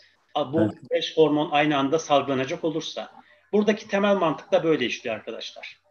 Bilmem anlatabildim mi? Teşekkür ederim. Evet, migrenle ilgili e, isterseniz bu küçük videoyu göstereyim. Evet, migren de e, genelde stres kaynaklı bir günümüz hastalıklarından biri. Ama en azından bununla ilgili bir ilaç geliştirilmiş. E, tabii ki bu ilaç Türkiye'de maalesef yok. Çünkü pahalı bir ilaç. Pahalı ilaç. Çünkü teknolojisi yüksek bir ilaç. Ya bununla ilgili çalışmalar e, çok maliyetli olduğu için maliyet ne kadar artıyorsa, çalışmalardaki maliyet ne kadar artıyorsa ilacın birim fiyatı da o kadar artıyor maalesef. E, tabii ki ülkedeki işletilen e, ilaç fiyatlandırma ve satış politikaları da burada son derece önemli. E, bu da çok derin bir konu. E, buna da çok detaylı girmek istemiyorum. Çok çok zaman alıcı bir konu çünkü. E, piyasada biliyorsunuz çok farklı migren tedavi yöntemleri var. İşte hipnoterapi var, uyku tedavisi var, akapunktur var. Ama burada biz tabii ki ilaç kısmından bahsediyoruz. Evet. İsterseniz bunu geçelim. Mouse'umu görebilsem. Ama migren dediğimiz hastalıkta insanın hayat kalitesini e, bayağı olumsuz yönde etkileyebiliyor. Bu da bir gerçek. Evet. Evet, gelelim 5G ya da 5G diyelim daha doğrusu. Türkçesi 5G. 5G'yi duyan var mı arkadaşlar diye bir soru soralım Cuma istersen. Tabii hocam soralım. Bu arada sıkılan var mı? Nasıl gidiyor? Vallahi iyidir hocam sıkıntı yok. Benim açımdan iyi arkadaşlara da soralım. Buradan yazsınlar. Tamam peki. Yazarlarsa daha iyi olur. Hocam ha- görüyor, görüyor musunuz yazıları? Harika diyorlar. Duyduk hocam. Gayet iyi gidiyor. Se, yani arkadaşlar da Tamam peki. Hı hı. yazıyorlar yani. Sağ olsunlar onlar da şu an yazıyorlar hocam. Tamam güzel gidiyorsa benim için daha iyi. Çünkü e, hani sıkıldıkları zaman söyle, sorsun, yani dursunlar, söylesinler. Evet. Evet. E, şimdi 5G dediğimiz arkadaşlar e, bir veri aktarım teknolojisi. Şu an Türkiye'de yok. Peki bu ne için kullanılıyor? 5G dediğimiz e, 5G özellikli cihazlar diyeceğimiz kavram ne? Şimdi 5G özellikli cihazlar dediğimiz şey aslında e, bir internet bağlantı hızı için kullanılan bir terminoloji. E, 5G dediğimiz altyapı veri transferinin çok hızlı olmasını sağlayan bir sistem. Hemen şöyle örnek vereyim. E, şu an kullandığınız teknoloji ne? 4G ya da 4.5G değil mi? Hı hı. Böyle örnek vereyim. 5G'deki e, veri transfer hızı saniyede 1 GB. Yani oldukça büyük bir veri transfer gücüne sahip bir sistem. E, özellikle bu e, 5G'nin en çok kullanıldığı alan Big Data dediğimiz büyük veri kullanımı. Büyük veri dediğimiz nedir? Hemen örnek verelim. Mesela bir ülkede yaşayan insanların sağlık verilerinin tamamına Big Data diyebiliriz. Ülke bazındaki Big Data diyebiliriz. Ya da şöyle örnek vereyim, e, öğrenciler açısından e, gündelik hayatın içerisinden bir örnek olsun. E, mesela sosyal medya platformlarını düşünsünler. İşte Facebook gibi, Instagram gibi sosyal medya platformları. Bunlarla ilgili verilerin tamamı Big Data olarak geçiyor. Yani Evet. büyük veri olarak geçiyor. E, dolayısıyla burada yüksek bir veri transfer teknolojisini kullanmamız gerekiyor. Hı hı. Yani, Yani bu şu geliyor değil mi hocam? Efendim? Bu şu anlama geliyor değil mi? 5G 20 dakikalık yani ben kendi tahminimi söyleyeyim. 20 dakikalık bir video eee bir dakika içerisinde mi hocam aktar, aktarılıyor? Saniyede mi dediniz? Saniyede, saniyede, E, dakikadan ziyade dosyanın boyutuna bağlı. yani saniyede 1 GB verimi demiştiniz hocam. Saniyede Evet, saniyede 1 GB. E yani o zaman mesela bir dosya 20 yani bu 1 GB o video yani 20 dakika olabilir, 30 dakika olabilir. Tabii o çözünürlüklerini bir tarafa bırakarak söylüyorum. Tabii tabii. 30 dakika olsa 30 dakikalık bir videoyu bir saniyede yüklüyor yani demek anlamına geliyor. Kesinlikle. Şimdi 5G'nin en önemli özelliği büyük ve e, büyük veri dediğimiz big data'nın potansiyelini artıran bir özelliğe sahip. Hı. Yani veri ne kadar büyük olursa olsun 5G teknolojisiyle veri transferi o kadar hızlı gerçekleşiyor. evet. Ee, şimdi, e, bunu en çok teletıpta görüyoruz. Yani Hı hı. 5G'nin en büyük faydasını tabii ki biz bizim ülkemizde daha göremiyoruz. Çünkü 5G bizde yok. En büyük faydasını teletıp uygulamasında görüyoruz. Yani diğer adı e, telemedicine olarak geçiyor yurt dışında. evet. Avrupa'da ve Amerika'da. E, nasıl bir avantaj sağlıyor? Mesela şöyle örnek vereyim. E, mesela diyelim ki New York eyaletindeki bir doktor e, Boston'daki bir hastayı robotik cerrahiyle ameliyat edebiliyor. Bu işe yarıyor. Yani New York'taki doktor Boston'a gitmeden e, Boston'daki hastanedeki hastayı New York'tan uzaktan ameliyat edebiliyor. 5G buna yarıyor arkadaşlar. Hocam bu işte 5G mesela diyelim Da Vinci e, robotik cerrahi cihazı var. Adam onu o şekilde uzaktan Aynen aynen. Ya da Vinci'nin çalışma prensibi zaten 5G'ye göre. tabii tabii tabii. Yani bunu yakından e, manuel kumanda eden doktorlar da var. Robotik cerrahi Evet. dediği olayı. Farklı konumlardan kablosuz bağlantıyla e, bu ameliyatı gerçekleştiren doktorlar da var. Ama bu teknoloji henüz bizim ülkemizde yok. Hocam şöyle birkaç soru var. Ee, sorayım mı yoksa sonra mı? Yani tam konu üzerine geldiği için söyleyeyim. Konuyla bağlantılıysa alalım.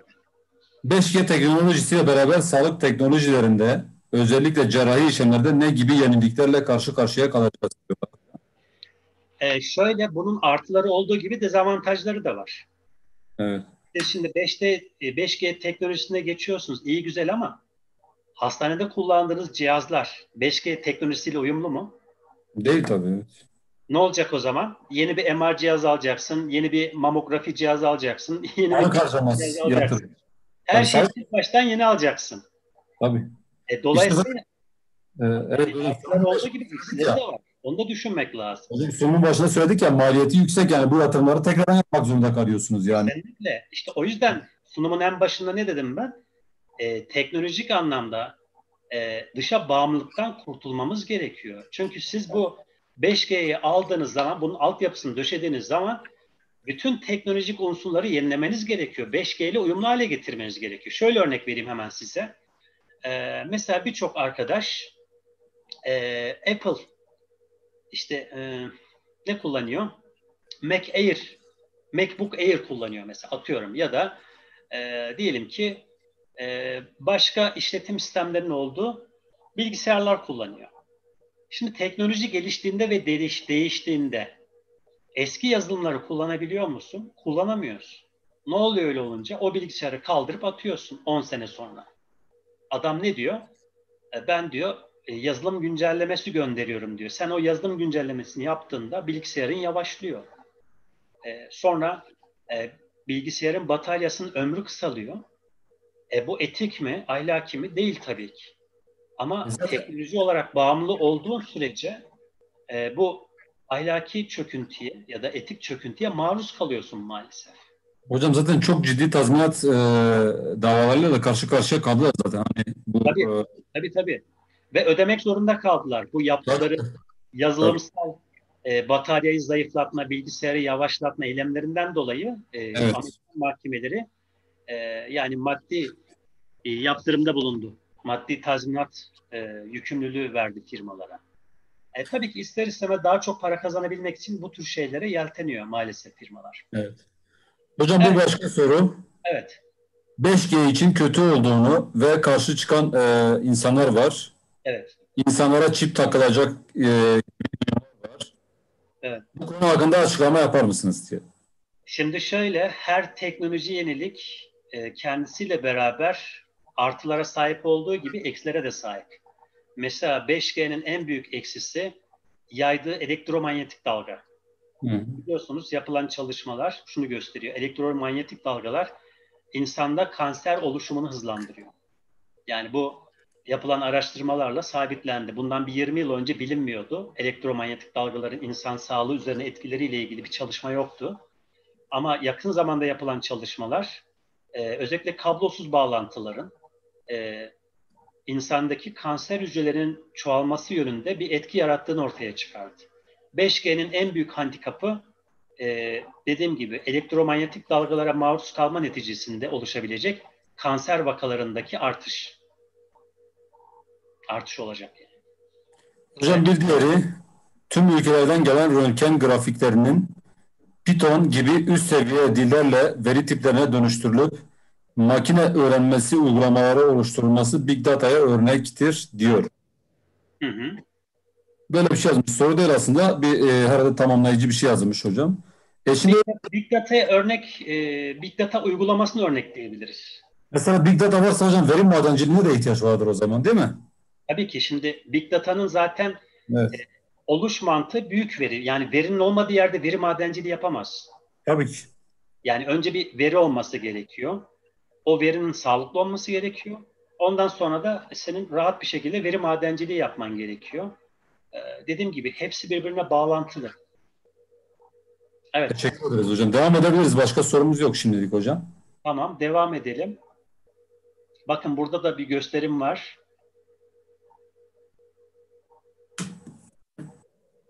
Evet. e, buradaki gösterimde de e, kişinin vücuduna takılmış olan bir cihaz var. E, bu cihaz e, şeker ölçümü yapıyor. Kişide e, kan şekeri ölçümü yapıyor. Ve kan şekeri ölçüm değerlerine göre e, bu şeker değerini ayarlıyor arkadaşlar. Bakın sunumun en başında gösterdiğim şey stikti. Yani kan şekeri ölçüm çubuğuydu. Buradaki cihaz sadece ölçüm yapmıyor. E, bu ölçüm değerlerine göre kişinin egzersiz yapması gerektiği ya da nasıl beslenmesi gerektiği ile ilgili e, data sağlıyor. Bu da yeni bir teknoloji. Yani kişiye diyor ki şu an kan şekerin düşük. Bunu yükseltmek için şu tarz beslen diyor. Ya da diyor ki şu an kan şekerin yükseldi. Biraz egzersiz yapman gerekiyor diyor. Yani kişiyi yönlendiriyor. Evet, buna e, işte belirli bir amaç için giyilebilir cihaz diyoruz arkadaşlar. Burada verdiğim örnek e, şeker hastası olan hastalar için kullanılan bir örnekti. E, buna yapay kalbi koyabiliriz. Ya da ne yapabiliriz? Akıllı saatleri koyabiliriz. Mesela Apple firmasının oluşturduğu Apple Watch saatleri mesela şöyle bir özelliğe sahip.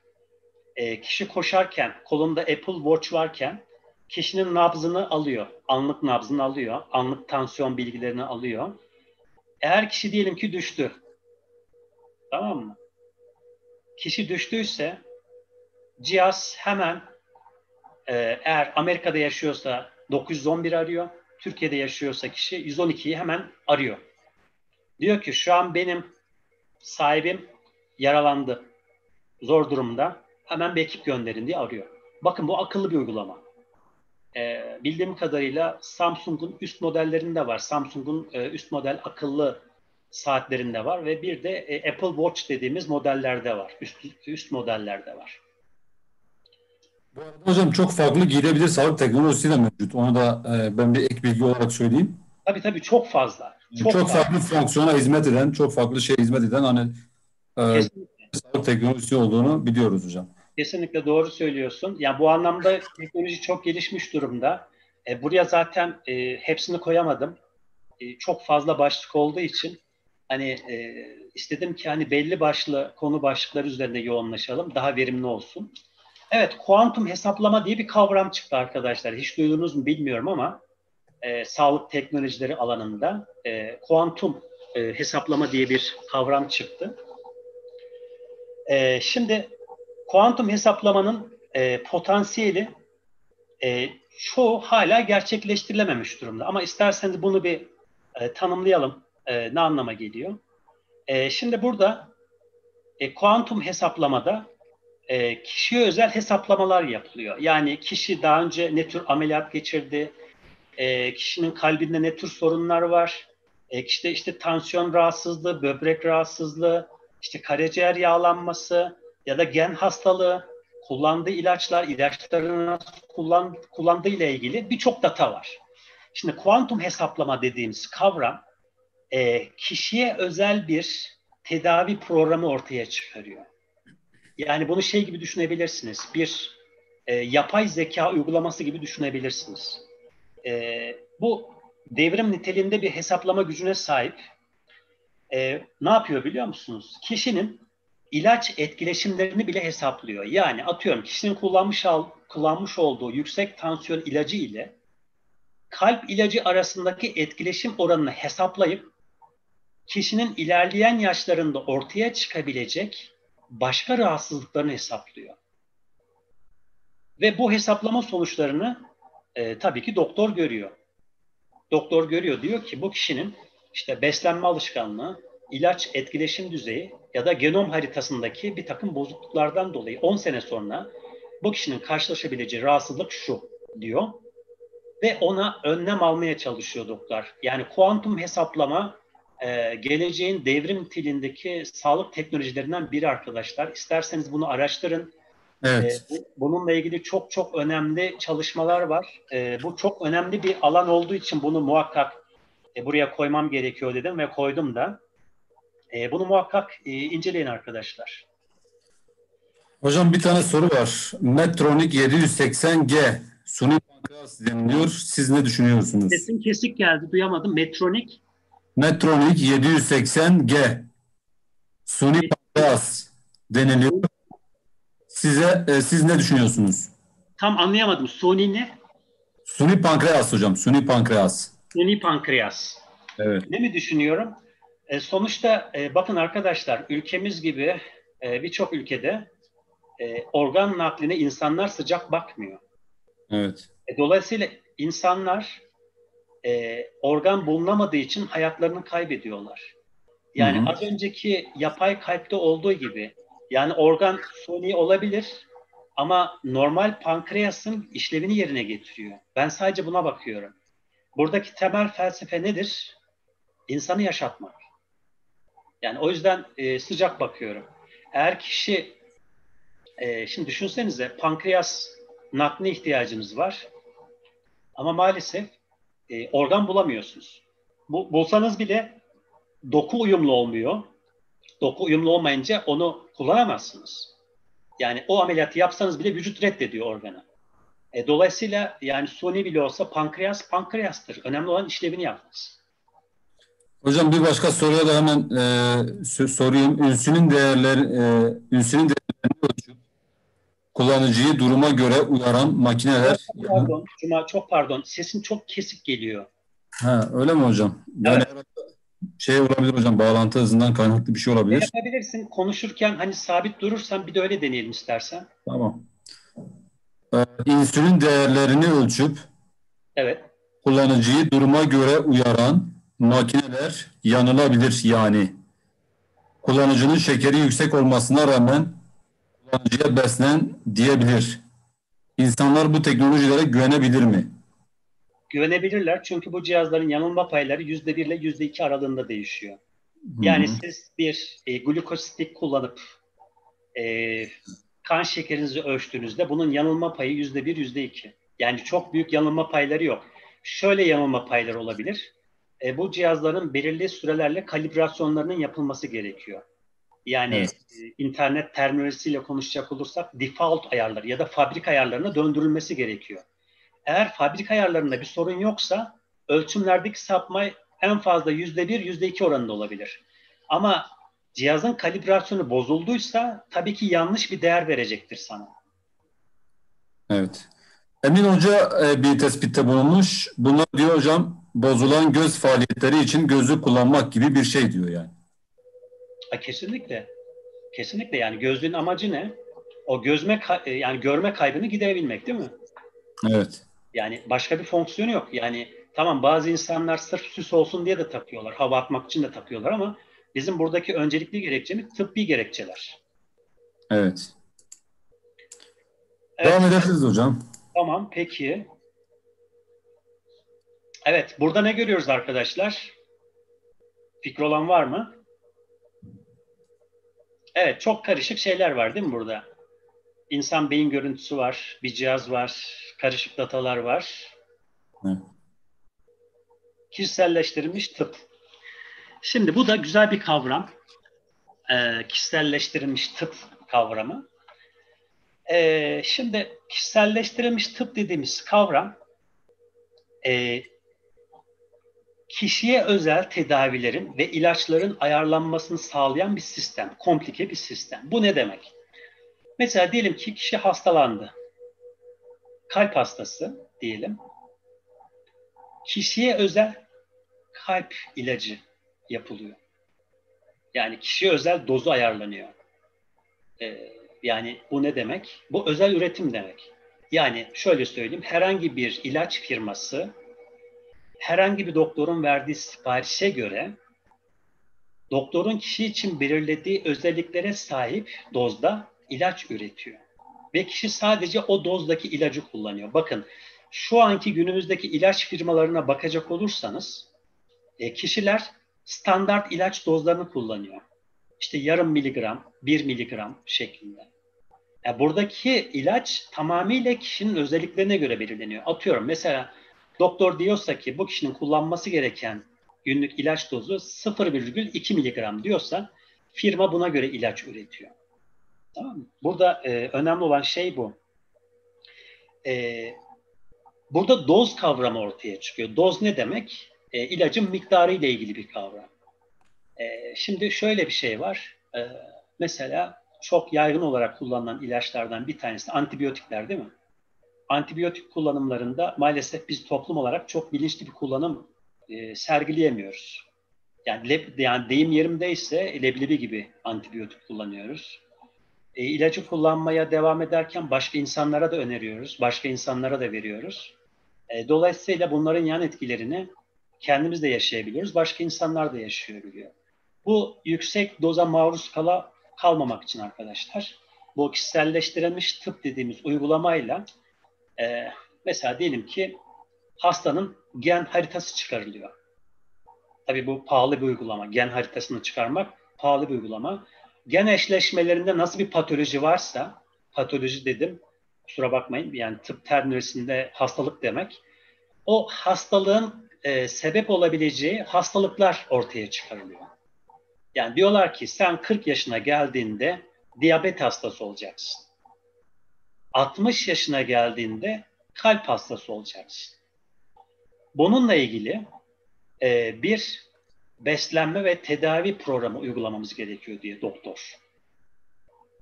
Yani kişiselleştirilmiş tıp dediğimiz kavram bu şekilde işliyor arkadaşlar. Tabi burada kişinin DNA'sı ve RNA dediğimiz reoksünükleik asit e, düzeyleri de inceleniyor. Detaylı bir şekilde inceleniyor. E, şunu sorabilirsiniz, bu Türkiye'de kişiselleştirilmiş tıpla ilgili bir çalışma var mı? Maalesef yok. Çünkü çok pahalı bir uygulama ve teknoloji gerektiriyor. Hocam bu söylediğiniz e, yani size bir arkadaşın yine bir e, sorusu, bir katkısı var diyelim. Hocam öncelikle yapmış olduğunuz sunum için çok teşekkür ederim. Özellikle ülkemizde sağlık teknolojileriyle ilgili bilimsel yayınların çıkmaması, ileri sağlık teknolojilerini ABD ve Avrupa gibi ülkelerden çok daha geriden izliyor olmamıza bağlanabilir mi? Ayrıca sağlık teknolojilerinin değerlendirilmesini yapan birçok ülke olduğunu biliyoruz. Bu bağlamda ülkemizde kullanılan sağlık teknolojilerinin doğru bir şekilde yapılmadığı ifade edilmektedir. Bu noktada bu gibi pahalı sağlık teknolojilerinin kullanılması noktasında doğru karar verebilmek için sağlık teknolojileri, teknolojileri değerlendirme derslerinin müfredata konulması ile ilgili düşünceniz nedir? Şöyle söyleyeyim, e, biz Hacettepe Üniversitesi Sağlık Yönetimi Bölümü olarak zaten sağlık kurumlarında teknoloji yönetimi dersi veriyoruz son sınıflara. E, dolayısıyla e, bunun e, bilgisini vereyim öncelikle. Ha diğer bölümlerde olmayabilir. E, olsa bile ne düzeyde işleniyor bununla ilgili bir bilgim yok. E, ama şunu söyleyebilirim. E, öncelikle teknolojik değerlendirmede bulunabilmek için e, ülkedeki verilere e, ulaşabiliyor olmamız gerekiyor. E, şu an bizim ülkemizde en büyük sıkıntı sağlıklı verilere erişim sorunu. Yani biz e, Türkiye'deki hastalık yapısı, e, hastalıkları işte hastalık haritasını çıkaramıyoruz. Neden çıkaramıyoruz? E, çünkü bununla ilgili verilere erişemiyoruz. Bu veriler nerede? Sağlık Bakanlığı'nın veri tabanlarında saklı. E, burada tabii ki değişik e, kriterler var. Mesela hasta mahremiyeti devreye giriyor. E, bunun dışında e, ne diyebilirim?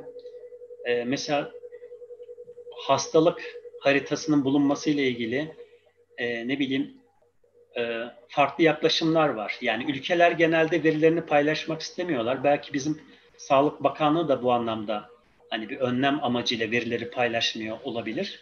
Ama veriler elimizin altında olabilseydi genelde bizim açımızdan en büyük sıkıntı verilere erişimdir. Cuma da bunu çok iyi bilir. E, verilere erişebilseydik Araştırmacı, azından, araştırmacılar evet, çok sıkça yazıyor ya hocam. Evet yani kesinlikle şimdi şöyle bir sıkıntı var. Şimdi veriye erişemezsem e, hangi durumdayız bununla ilgili e, bir röntgen çekemem. Yani ülke olarak ne ihtiyacımız var ben bunu bilmiyorum. E, hastalık haritasını bilmem gerekiyor. Ne tür cihazlar var, ne kadar var? Bunlarla ilgili 3 aşağı 5 yukarı bilgimiz var ama tam rakamlarla ilgili bilgimiz yok. Yani cihazların ne kadarı envanter dahilinde, ne kadarı e, hack'e ayrılmış, e, ne kadarı kayıt dışı duruyor bunları bilmiyoruz. Yani bunları bilsek aslında bunlarla ilgili yol gösterici çalışmalar yapabiliriz. Yani atıyorum Türkiye'de ne kadar MR cihazı var? Bunu bilmem önemli. Neden önemli? E çünkü ne kadar cihaz varsa o cihazı kullanacak kadar da e, teknisyene ihtiyacım var. Yani o cihazı kullanabilme bilgisine sahip teknisyene ihtiyacım var. Ya da e, bu cihazların bulunduğu hastanelerin her birinde e, belirli sayıda e, e, bak unuttum. E, biyo e, neydi ya? Mühendis, e, biyoteknoloji mühendisi hocam. Bu bir... teknoloji değil de e, başka bir adı vardı onu unuttum şu an. Evet evet. Yani o ben cihazların bakım onarımını yapabilecek biyomedikal, biyomedikal mühendisi, biyomedikal. Pardon, biyomedikal mühendislerinin ne kadarı hastanelerde çalışıyor? Hangi hastanede biyomedikal mühendisi yok? Ya da hangi hastanedeki MR cihazını kullanan kişi o cihazı kullanmaya yetkili değil. E, bunların hepsinin istatistiki verilerine ulaşmamız gerekiyor. Yani hmm. eğer bir ülkedeki sağlık teknolojisini yönetmekten bahsetmek istiyorsak e, bu verilere ulaşmamız gerekiyor. Ya bu veriler olmadan da bununla ilgili yorum yapma şansına sahip değiliz. Ben ya sadece şu, biliyorum. E, hocam evet. sözünüzü kesiyorum da kusura bakmayın. Ya da şu olabilir mesela ülkelerin mesela sağlık teknolojilerinin etkinliğini inceliyoruz. Etkin olup, etkin olup olmadığını inceliyoruz. Şimdi mesela yaptığımız çalışmalarda Avrupa ülkelerinin verilerine çok rahat bir şekilde erişebiliyoruz ama kendi ülkemizin verilerine ulaşamadığımız zaman ülkeler arası bir karşılaştırma yapamıyoruz. Ya bu kesinlikle. Çalışmalarımız falan var tamam çıktı ama hani istediğimiz gibi olmuyor yani. Yok yani e, şey yansıtmaz, gerçeği yansıtmaz çünkü e, sahip olman gereken veriler yok. Yani bugün. Dünya Sağlık Örgütü'nün sayfasına bile girsen yani Türkiye ile ilgili detaylı veriye ulaşamıyorsun. Evet. E, verinin olmadığı yerde de bununla ilgili işte verimlilik analizi yapamazsın. Evet. Yani bu sağlık sisteminin neye ihtiyacı var? Nasıl bir teknoloji ihtiyacı var? İleriye dönük olarak önümüzdeki 10 yıl, 20 yıl, 50 yıl bazında düşündüğümüzde e, ne tür teknolojileri barındırmamız gerekiyor? E, bunun yorumunu yapamıyoruz. Çünkü e, bu değerlendirme yapabileceğimiz e, veri datası yok maalesef. Evet, e, 2018 yılına ait bir e, araştırma ve geliştirme faaliyetleriyle ilgili ülkelerin bilgilerini içeren bir datayı sizinle paylaşmak istedim. Burada işte özel sektörün, kamu sektörünün, e, eğitim sektörünün e, araştırma geliştirme faaliyetlerine ayırdığı payı görüyoruz. E, burada kırmızıyla göstermeye çalıştım. Türkiye burada. Gördüğünüz gibi e, özel sektörün e, araştırma geliştirme faaliyetlerine ayırdığı pay kamudan çok daha fazla. E, kamunun gördüğünüz gibi payı çok düşük. E, yani durum bu. Gördüğünüz gibi mesela Güney Kore'ye baktığınızda e, araştırma geliştirme faaliyetlerine ayrılan pay çok çok yüksek. E, İsviçre'ye baktığınızda keza öyle. E, İngiltere'ye baktığınızda öyle. Yani gelişmiş ülkelerde araştırma geliştirme faaliyetlerinin çok yüksek olduğunu görebilirsiniz. Ee, şimdi burası bu aldığım veri yanlış anımsamıyorsam OECD ülkelerini kapsıyor diyeceğim. Bakıyorum bir. Ee, evet OECD ülkeleri bakıyorum. E, tam emin olamadım ama muhtemelen OECD ülkelerini kapsıyor. Dünya çapına ait bir veri değil. Çünkü öyle olsaydı şu an göremiyorum ama Amerika Birleşik Devletleri'nin de görmem. Ya evet Amerika buradaymış. Çok pardon. Evet gördüğünüz gibi bakın. E, yani ülkelerin araştırma geliştirme faaliyetlerine sektör bazında ayırdıkları e, payları görüyoruz. Evet. Sağlıkla kalın diyorum arkadaşlar. Umarım e, faydalı olmuştur. Eğer detaylı bilgi edinmek isterseniz ben Cuma hocanız kanalıyla e, size ulaştırabilirim daha detaylı bilgileri. Hocam Evet. son bir sorumuz vardı. Onu da isterseniz cevaplandıralım da hocam. Bu veri Yani sorular varsa şu aşamada soruları alabiliriz Cuma. tamam. Ee, bir tane soru vardı. Not etmiştik hocam. Veri güvenliği ile ilgili ne yapmamız gerekiyor? Bunun yasal boyutları nelerdir? diye bir soru gelmişti hocam. Peki bununla ilgili gerçekçi cevap mı vereyim? Nasıl cevap vermemi istersiniz? Yasal olarak hocam durum nedir? Onu bir öğrenelim. Şimdi şöyle şöyle söyleyeyim arkadaşlar. e, belki moraliniz bozulacak ama dünyanın hiçbir ülkesinde veri güvenliği diye bir şey yok. Önce onu e, söyleyeyim. Ama şunu e, şunu söyleyebilirim. E, blo- blockchain uygulamasıyla veri güvenliği sağlanıyor ama kısmen sağlanıyor. Yani sizin sağlık verileriniz olsun, sosyal medya verileriniz olsun, e, telefondaki mesajlaşmalarınız, konuşmalarınız hepsi e, belirli serverlarda toplanıyor. Ve bunlar, e, üzülerek söylüyorum, e, şöyle örnek vereyim. Mesela sosyal medya platformlarına ait olan verileriniz e, bazı firmalar tarafından satın alınıyor. Maalesef durum bu. Sağlık verileriniz de aynı şekilde. Bazı firmalar tarafından satın alınıyor. E, dolayısıyla veri güvenliği sıfır. E peki şunu soruyor, sorabilirsiniz. E, Cuma'nın dediği gibi, Cuma hocanızın dediği gibi. E peki yasal mevzuat ne burada? Maalesef e, veri güvenliği ile ilgili bizde yasal mevzuat yeni yeni oluşturuluyor. E, ve bu yasal mevzuatı uygulayacak kişilerin de e, veri güvenliği ile ilgili yeterince bilgiye e, sahip olmadıklarını düşünüyorum ben. Yani veri güvenliği nedir? Veri hangi aşamada ihlal ediliyor? Hangi aşamada ihlal edilmiyor? Hangi aşamada hasta mahremiyeti korunabiliyor ya da korunamıyor? Şöyle bir örnek vereyim size. Ee, bundan 4-5 yıl önce Hacettepe Üniversiteleri e, hastanelerinin e, web sayfasında, A sayfalarında bir veri güvenliği tespit ettim. Şöyle bir veri güvenliği tespit ettim. Herhangi bir hastanın e, dosya numarasını ya da TC'sini girdiğim zaman hastayla ilgili bütün datalara erişebiliyordu. Hemen Hacettepe Üniversiteleri Erişkin Hastanesi Bilgi İşlem Müdürü ile iletişime geçtim. Benim dönem arkadaşım kendisi. Uyardım. Bak burada bir data kaçağı var. Bununla ilgili önlem alın. Artık şifreleme mi yaparsınız, başka bir algoritma mı uygularsınız, ne yaparsınız bilmiyorum ama e, bu buna dikkat edin dedim. E, bunun gibi çok veri kaçağı var arkadaşlar. Yani sonuç olarak veri güvenliği diye bir şey yok ama blockchain uygulamasını uygulandığı bazı veri tabanlarında e, veriler çok sağlam korunabiliyor. Ama ne tür veriler korunuyor, ne tür veriler korunmuyor? E, yani bununla ilgili net bir bilgi yok arkadaşlar. Sonuçta IP adresini kullanarak internete girdiğiniz her platformda veri güvenliği yok. Ee, bu noktada başka sorusu olan katılımcı arkadaşım varsa sorusunu sorabilir. Yoksa da eee, hocam çok teşekkür ediyoruz diyorlar da ben bir sorum vardı. Bir de ben sorayım hocam isterseniz. Sen soruyu sormadan ben bir küçük bilgi vereyim istersen. Çok küçük. Tabii. Tabii tabii hocam. Yani gelecekte e, özellikle fütüristik olarak bakan yani gelecekte ne olacak diye bakanlar açısından bakıldığında e, üç bileşenin ileride bir evlilik yapacağı söyleniyor. Birincisi 5G teknolojisi, ikincisi sağlık sektörü, üçüncüsü robotik cerrahinin ileride evlilik yapacağını ve bu e, evliliğin çok mutlu olacağını söylüyorlar uzmanlar. Hocam ben de eee, o zaman şöyle bir soru sorayım. Bitcoin'in sağlık hizmetlerinde kullanımı, özellikle mesela sağlık harcamalarında, diyelim ki tedavi olduğu zaman eee, bunu ileride kullanabilecek mi? Bu Bitcoin ile ilgili son zamanlarda da çok şeyler falan var. Ben de onu sorayım. Ondan sonra da eee, bir kapanışımızı yaparız hocam. Tamam peki. Şimdi Bitcoin e, öncelikle e, güvenilir bir platform değil. Neden? E, Bitcoin dediğiniz ortamda e, para transferi var. Yani parasal bir e, hareketlilik var orada. E, kendi iç dinamikleri var. E, herhangi bir ülkenin merkez bankasının sistemine dahil olarak çalışmıyor.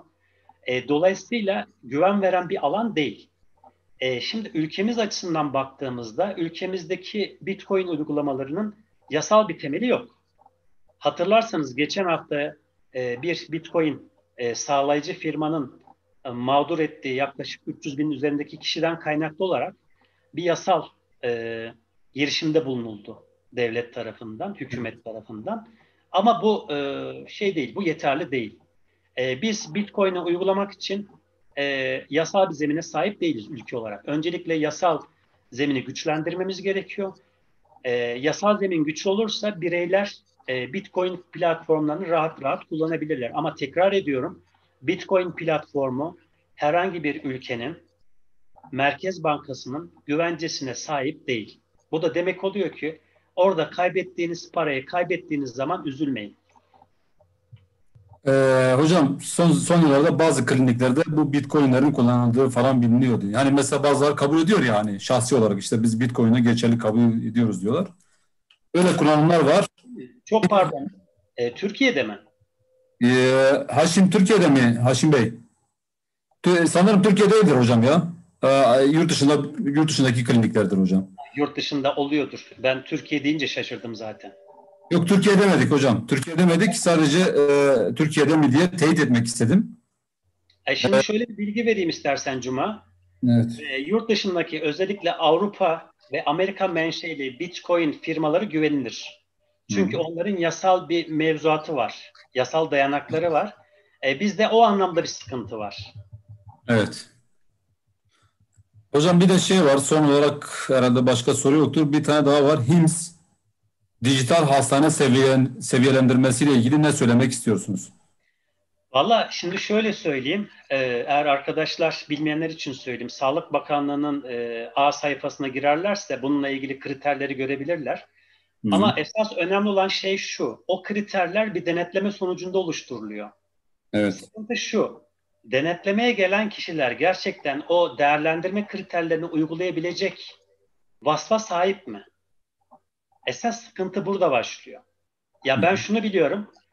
Ee, e, G, GC, e, GCI miydi? Yok. E, Joint Commission International uygulaması birçok hastanede yaygındır biliyorsunuz. Ee, akreditasyon yani GCI. Akreditasyon evet uluslararası kalite akreditasyon standardı olarak geçiyor. Evet. Birçok hastane akredite olabilmek için akreditasyona mani olabilecek bölümlerini kapatıyor mesela. Hı hı.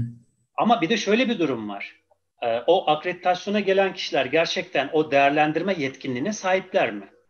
Bir de bunu soru işareti olarak ortaya koymamız gerekiyor. Evet. Hocam eklemek istediğiniz başka bir, başka bir şey yoksa e, fazla da uzatmadan Şöyle e, arkadaşlara bir öneride bulunabilirim. tabii. Ee, özellikle e, şimdi çok konu olduğu için hepsinden bahsedemedim. Mesela e, artırılmış gerçeklik konusuna bakabilirler, sanal gerçeklik konusuna bakabilirler. Özellikle 1980'li yıllarda başlamış olan robotik cerrahinin gelişim sürecine bakabilirler. E, 3D baskı dediğimiz üç boyutlu baskının sağlık alanındaki uygulamalarına bakabilirler. E, tele sağlık kavramına bakabilirler. E, teletıpın e, biliyorsunuz öncesinde olan bir kavram. E, blockchain kavramını inceleyebilirler bu bağlamda kendilerini yetiştirmek istiyorlarsa. E, son olarak yapay zeka kavramı biliyorsunuz çok revaçta. Yapay zekanın sağlık alanında kullanılması ile ilgili e, kendilerini geliştirebilirler. E, bunun dışında e, nesnelerin interneti kavramına baksınlar. Bu da çok çok önemli bir kavram. E, yani bu anlamda kendilerini yetiştirirlerse e, önümüzdeki 10 yılın e, teknolojilerine hakim olabilirler diye düşünüyorum. Zaten sağlık yönetimini okuyan bir birey e, mezun olduktan sonra biliyorsun hani bizim artık meslektaşımız oluyor. E, bilişimden geri kalan bir yönetici ben düşünemiyorum.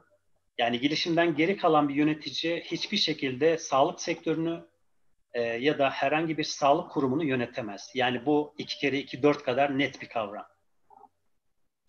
Hocam katkılarınız için teşekkür ediyorum. Diğer katılımcı arkadaşlara da teşekkür ediyorum ve e, e, e, bu güzel sunumunuz için gerçekten çok teşekkür ediyoruz. E, arkadaşlar da bu programları sık sık yapabilirsek seviniriz diyor. İnşallah ileriki zamanlarda artık farklı konularda yine e, onlarla karşılaşmayı umuyoruz hocam. Umarım katkı sağlayabilmişimdir. E, katılan arkadaşlara çok teşekkür ediyorum. Sana da teşekkür ediyorum. Hocalarımıza da bu fırsatı verdikleri için teşekkür ediyorum. E, sonuçta bilgi paylaşıldıkça çoğalır diyorum. E, çok teşekkür Evet. ederim herkese. Çok sağ olun hocam. Teşekkür ederim. Sağ olun. İyi akşamlar diliyorum hocam. İyi akşamlar.